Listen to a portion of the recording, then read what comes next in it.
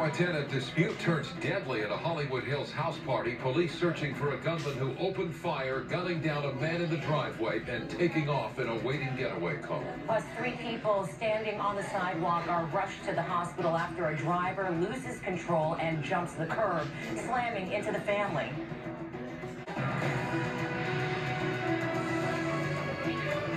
Good evening, I'm Micah Ohlman. And I'm Cher Calvin. Three members of one family are hospitalized tonight, two critically, after a driver loses control, jumps the curb, and crashes into them before slamming into a bank. It happened just before 5.30 this afternoon on Pico and La Cienega. The family was standing on the sidewalk when the accident happened. John Fenoglio live in Pico Robertson with the latest on the crash and the condition of the victims tonight. John.